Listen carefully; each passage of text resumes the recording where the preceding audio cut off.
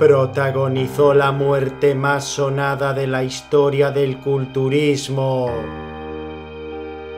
Su extrema definición le hizo pasar a la historia siendo recordado como el hombre sin piel. Su muerte es un ejemplo recurrente que invita a la reflexión y a la cordura. Andreas Manser nació el 25 de octubre de 1964 en Pack, Estiria, Austria. La millonaria industria del culturismo vende físicos monstruosos, inalcanzables por medios naturales, creando la falsa creencia de que su secreto se encuentra en un simple bote de proteínas. Un noble deporte que debería tener solo consecuencias como lesiones en tendones, articulaciones o desgarros musculares puntuales, derivó en un deporte de alto riesgo donde lo único peligroso deberían ser los duros entrenamientos. El uso y el abuso de fármacos mancilló un deporte donde los efectos secundarios de la polifarmacia podía llevar a los deportistas incluso hasta la muerte. Andreas Manser creció idolatrando a su compatriota Arnold Schwarzenegger, al cual intentó imitar.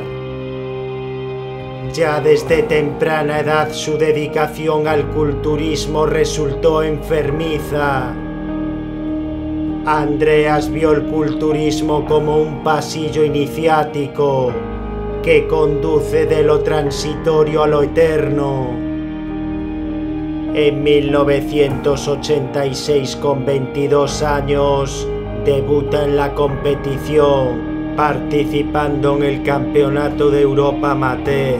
Queda sexto en la categoría de peso medio.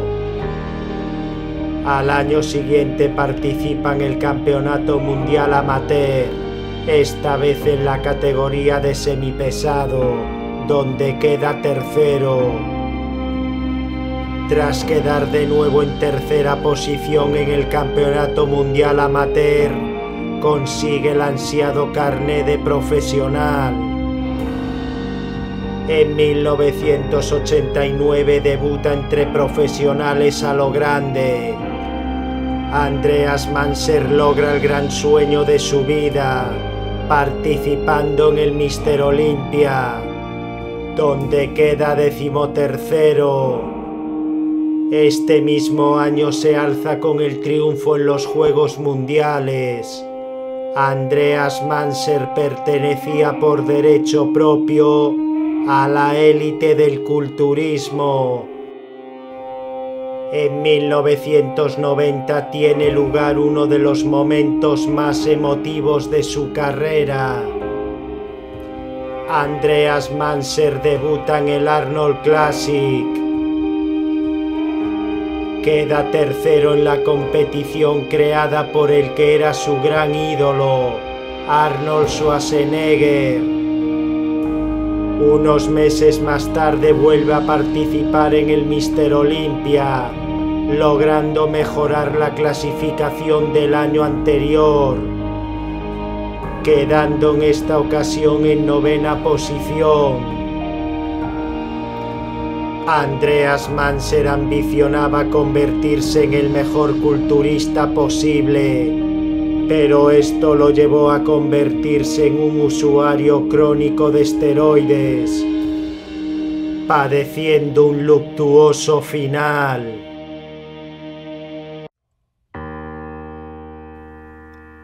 Entrenando en el mítico gimnasio de Albert Busek, bajo la tutela del que era el presidente de la IFBB en Europa y máximo responsable de la prestigiosa publicación Sport Review, Andreas Manser siguió compitiendo y participando en los torneos más prestigiosos, el Arnold Classic, el Ironman Pro o el Night of the Champions.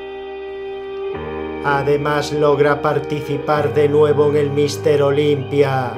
En 1993 queda noveno, repitiendo la novena posición al año siguiente. A pesar de gozar de una enorme popularidad debido a sus bajos niveles de grasa corporal, Manser sabía que el culturismo profesional es un negocio que solo premia a los mejores. Andreas presentaba una dureza que nunca nadie había mostrado. Estaba tan seco que parecía un reptil, declaró Nasser el Sombati. Estaba más duro fuera de temporada que el 80% de los culturistas compitiendo. La obsesión por la definición lo llevaba a estar todo el año a dieta. Solo comía pollo, pavo, pescado y una cantidad ingente de claras de huevo. Andreas estaba en forma los 365 días del año.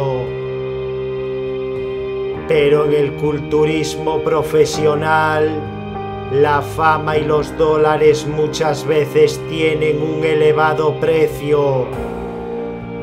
Padeció disonancia cognitiva que lo llevó a efectuar en su preparación para el Arnold Classic del 96 el llamado ciclo de la muerte. Diez semanas antes de la competición tomó diariamente efedrina, AN1, Captagon, aspirina, Valium, clenbuterol, hormona tiroidea. De estas sustancias no se sabe exactamente la cantidad que tomó a falta de seis semanas usó diariamente dos inyecciones de testovirón 250, una inyección de parabolán, 30 tabletas de alotestín, 30 tabletas de dianabol de Tailandia, 20 unidades internacionales de hormona del crecimiento y 20 unidades de insulina a falta de tres semanas usó tres inyecciones de Masterón, dos inyecciones de Parabolán, 30 tabletas de Alotestin, 50 tabletas de Stromba, dos inyecciones de Stromba, 20 unidades de hormona del crecimiento y 20 unidades de insulina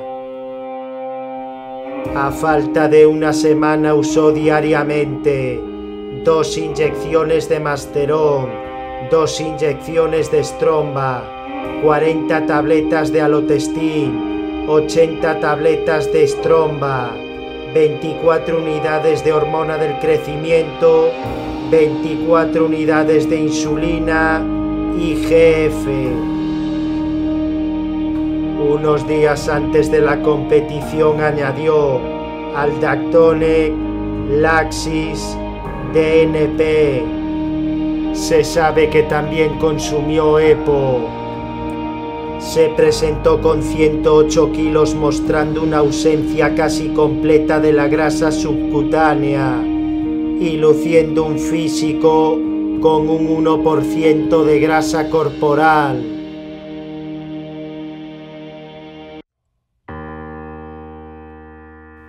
Tras quedar sexto en el Arnold Classic, apenas unos días más tarde, Andreas Manser participa en la que sería su última competición, el San José Pro, donde queda séptimo. Sería su metamorfosis redentora final Manser padeció un profundo nivel de conceptualización ignorante que mantiene la sensación de estar aquí ahora como algo infinito, apoyando los instintos adictivos y subjetivos de autodestrucción, bloqueando la comprensión y sumiéndolo en una ilusoria sensación de gozo, sin realidad alguna en aquel momento, siendo engañado por la naturaleza espuria de los fármacos, experimentando un terrible choque cuando despertó del sueño. En el vuelo de regreso a Múnich, Andreas Manser empezó a sangrar internamente y a retorcerse aquejado por espantosos dolores estomacales. Un testigo que iba en el avión dijo que vio salir del baño a Manser pálido y sudoroso, mientras su novia Elizabeth Suar terriblemente asustada lo sujetaba. Vio heces con sangre en el baño. Al salir vio a un Manser repleto de venas retorciéndose de dolor en su asiento. Al aterrizar en Múnich fue inmediatamente llevado a un hospital, donde le practicaron una operación de emergencia. Los médicos consiguieron detener las hemorragias internas, pero Manser no despertó del estado comatoso.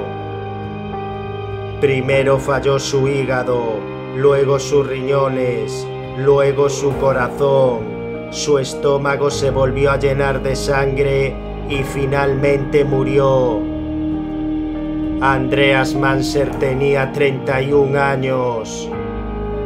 La autopsia reveló que no tenía casi grasa subcutánea. Su hígado tenía múltiples tumores del tamaño de pelotas de tenis de mesa. Sus testículos estaban empequeñecidos y sufría hipertrofia cardíaca. Sus electrolitos estaban totalmente fuera de control y sus niveles de potasio eran increíblemente altos. El elevado peso de su corazón junto a una sangre extremadamente densa impidió que su circulación sanguínea se restableciera normalmente. Había sufrido un colapso múltiple de sus órganos vitales. Tenía los órganos internos totalmente deshechos. Se detectaron al menos 20 medicamentos distintos. La variedad y cantidad de drogas usadas, no solo esteroides, tejió un velo de misterio sobre la causa exacta de su deceso. Al parecer murió debido a las altas dosis de diuréticos que provocaron un estado avanzado crónico de deshidratación. Arnold Schwarzenegger envió una corona de flores a su funeral en Estiria, un último saludo a un verdadero amigo. Andreas era una persona devota del trabajo duro, modesto y un gran tipo. Había conseguido firmar un contrato para trabajar con Weider. Vivió momentos de sueño y esperanza imaginarios, vislumbre de la bienaventuranza y felicidad sofocados en un terreno ingrato como es el culturismo profesional, donde solo vale ganar lo que finalmente lo condujo a la muerte. Tras su dramática muerte, Andreas Manser sufrió un auténtico pogromo. No debemos caer en el error de pensar que era un culturista docenado. Andreas trabajó más duro que nadie y redefinió el concepto de dieta extrema. Desde el momento en el que el carácter no es una abstracción puramente metafísica, sino la más elevada de las cualidades mentales e inclinaciones morales de cada uno, Juzgar a Manser no ayudaría a resolver qué pensaba cuando tomó tamaña ingesta de fármacos. Andreas Manser estará gritando desde su tumba al mundo del culturismo que su muerte no fuese en vano. Esperemos que su historia aclare el denso humo de la oscuridad de la ignorancia cuando se trata del consumo desmesurado y responsable de fármacos. El hombre que murió por imitar a Arnold Schwarzenegger semanas antes de la celebración del Arnold Classic del 96 parece haberse alojado en el Hotel de los Suicidas en Colombia, protagonizando con su ciclo la crónica de una muerte anunciada.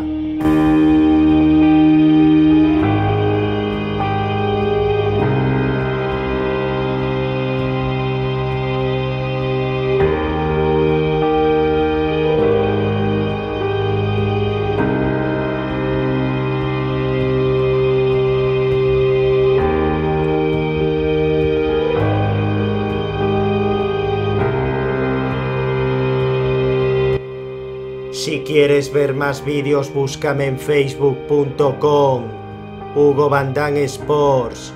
Comparte el vídeo y suscríbete a mi canal.